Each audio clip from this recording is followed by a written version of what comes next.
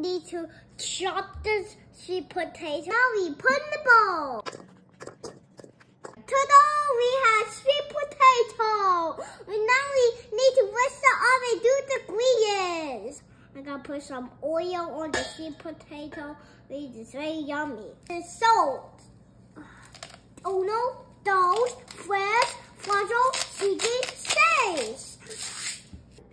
Powder and these sprinkle a lot. So I can do myself. A little bit. Oh, yeah.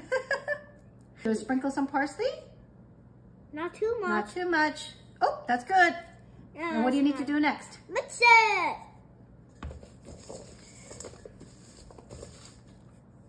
Oh, it smells really good. Now we pour it in.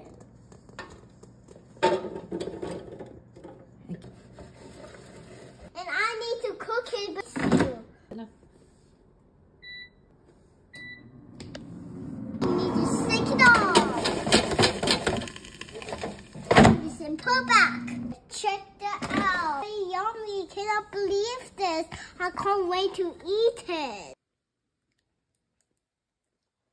Mmm, yummy. You try another one? Show everybody your chopstick skills.